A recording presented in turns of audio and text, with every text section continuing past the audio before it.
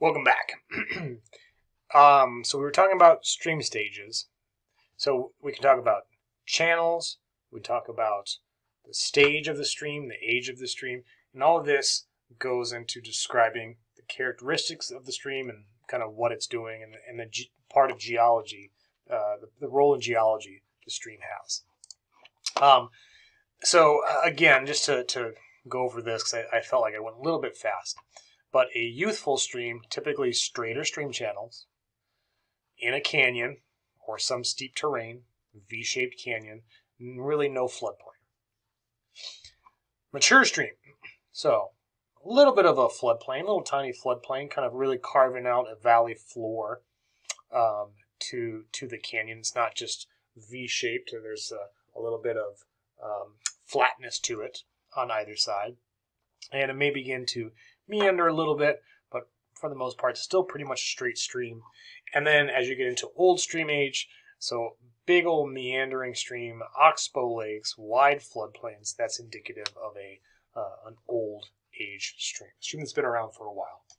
Cross section, youthful, uh, pretty much confined to a V, a V-shaped channel, whereas mature uh, in even into old age, you're getting into a very wide floodplain. It's kind of probably the easiest way to see how much floodplain does it have. So, in any case, all the water that flows through these streams, all the water in these lakes and in these swamps, where is it coming from? Where does all that water come from? Well, it comes from precipitation, whether it's snow falling and then melting, or just rain or any other form of precipitation that falls on the land and water will always find the lowest spot possible.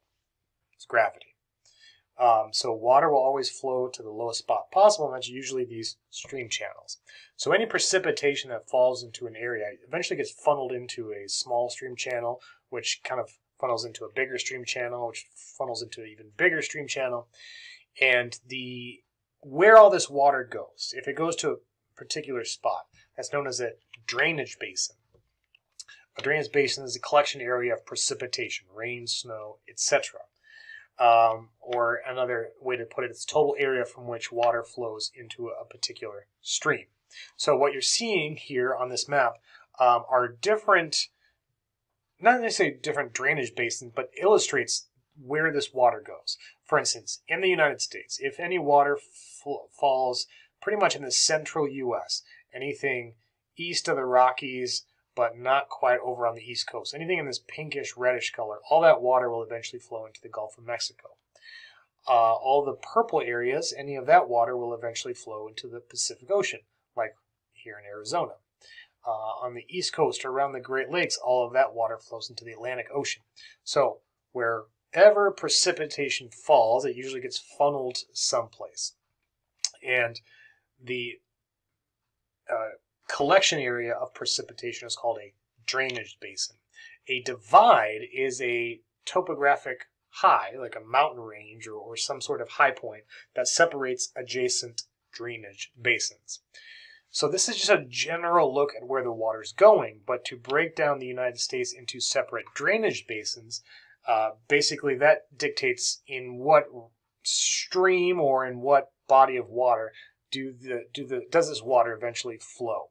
So, for instance, anywhere pretty much in the central U.S. Um, is uh, the any precipitation that falls here uh, eventually flows into the Missouri or Mississippi River. So this is known as the Missouri Mississippi River Drainage Basin. Mississippi River is a very large river. The reason being its drainage basin is enormous. Anything that falls here will eventually flow into the uh, Missouri or Mississippi River, even the Ohio River, all, all flow into the Mississippi River. So you're getting this large catchment area, hence the Mississippi River is just such a big, giant river. Um, in Arizona, we're in the Colorado River drainage basin, so you can see any drop of precipitation, anything whatsoever that falls in Arizona, snow, rain, whatever, eventually gets funneled into the Colorado River and out into the Gulf of Mexico and the Pacific Ocean.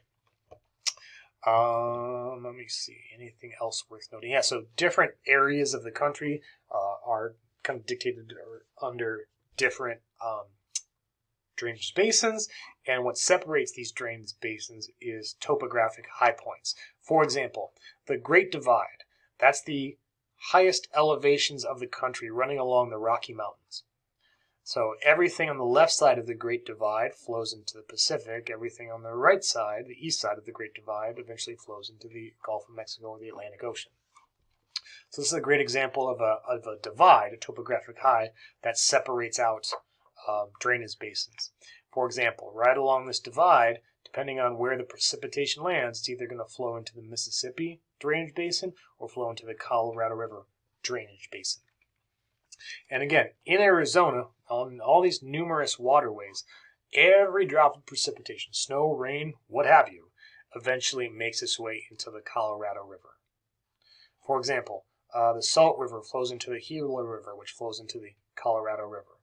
The, I don't know, uh, San, Pedro, San Pedro River flows into the Gila River, which flows into the Colorado River. The Little Colorado River flows into the Colorado River.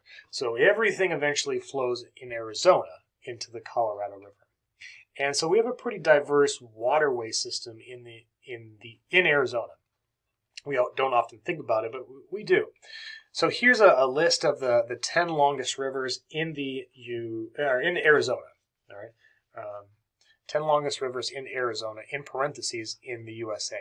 So, for instance, the Colorado River is the longest river in Arizona. It's actually the fifth longest in the, the US. starts up in Colorado, makes its way through Arizona.